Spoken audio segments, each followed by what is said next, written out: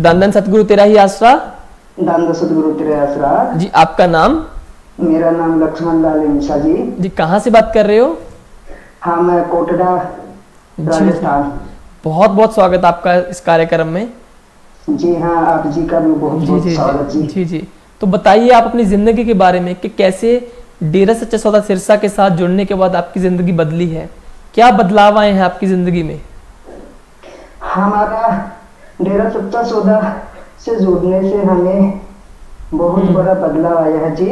हम्म। हम जैसे हम पहले बहुत दारू पीते और हमारे हमारी स्थिति बहुत गरीब थी। हम्म। हम जैसे पूछे गुरुजी से 2001 में हमने गुरु मंत्र लिया। हम्म जी। जब से हम उससे पहले हम बहुत मजदूरी करके ज़िंदगी गुजारा कर रहे थे। हम्म। हम पूज्य गुरु जी से जुड़ने के बाद हमें आत्मा बल मिला हमें जो काम करने का धंधा करने का जैसे हमें खेती करने का तरीका हमें जो पूज्य पिताजी की जो गुरु मंत्र जपने के बाद में हमें इतना बड़ा ऐसा लगा हमारे ज़िंदगी में बहुत बड़ा बदलाव आया जी। आज आज हम सुखी ज़िंदगी जी रहे हैं जी। हम्म। हमें 2001 से पहले मुझे बाल की बीमारी थी पेट की अच्छा।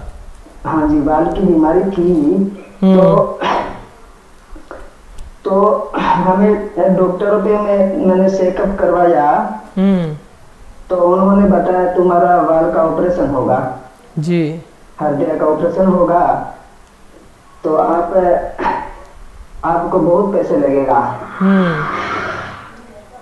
जी। बहुत बहुत पैसा लगेगा तो हमने कहा हम तो गरीब हैं हमारे पास पैसा कहाँ से करेंगे?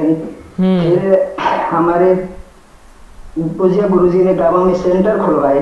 हम्म। लोगों को समझाने के लिए जैसे सूखा पड़ा था जब उस समय में तो हमको समझाया कि पूज्य गुरुजी से आप गुरु मंत्र ले लो। हम्म। गुरु मंत्र ले लो तो फिर हमने सोचा गुरु मंत्र कैसा होगा पहले? जी। तो हमने फिर गुरु मंत्र लिया उनका सेवादारों ने हमको गाइड किया कि आप गुरु मंत्र का जाप कीजिए। आपकी बड़ी से बड़ी बीमारी खत्म हो जाएगी आपके घर में सुख शांति आएगी। तो हम्म हमने सर जी गुरु मंत्र का अभ्यास किया सुमरन किया। जैसे झाडोल कोटला उदयपुर में डेरा बना वहाँ जाके सेवा करते आश्रम में। फिर फिर हम सेवा करते ऐसे करते करते आज हमारा 2020 वो 2020 मान लो 20वां साल चल रहा है। जी। तो आज दिन तक वो हम उस बीमारी को हमको वापस याद नहीं आई। हम्म। हम वो बीमारी हमारे दिमाग से खत्म हो गई जी हमको कोई बीमारी नहीं जी वाह जी वाह। जी हाँ। क्या बात आपने फिर जो डॉक्टर से चेकअप करवाया था उससे बात की थी कि कैसे ये बात हुई? हमने वापस कोई चेक भी नहीं करवाया भाई जी हमें आज दिन तक वो भी हम बीमारी याद भी नहीं आई थी। नहीं तो आपको पहले जो बीमारी थी लेकिन आपने बताया कि गुरु मंत्र लेने के बाद उस बीमारी का इलाज हुआ। तो डॉक्टर के साथ आपने बातचीत की थी कि यहाँ आपने बताया कि ये बीमारी है लेकिन ये बिना दवाई लिए ठीक हो गई?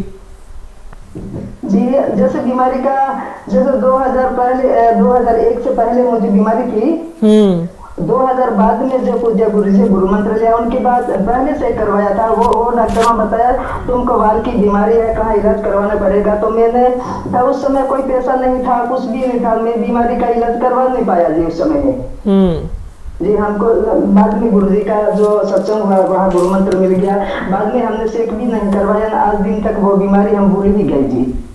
वाह जी वाह। जी हाँ। बिल्कुल बिल्कुल सही बात है। जी हाँ।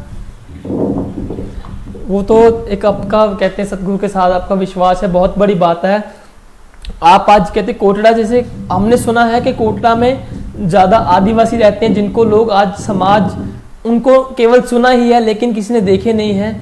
लेकिन आप बात कर रहे हैं, जैसे पहले बहुत भाई बात कर चुके हैं कि बहुत से आदिवासी जिनकी ज़िंदगी उन्होंने गुरु ने बदली है। पहले उनका काम होता था मीट मांस खाना महुआ जिसको शराब बोलते हैं वो पीना। लेकिन आज वो उनकी अपनी ज़िंदगी बदल चुके हैं गुरु मंत्र लेने के बाद गुरु जी के साथ जुड़ने के बाद।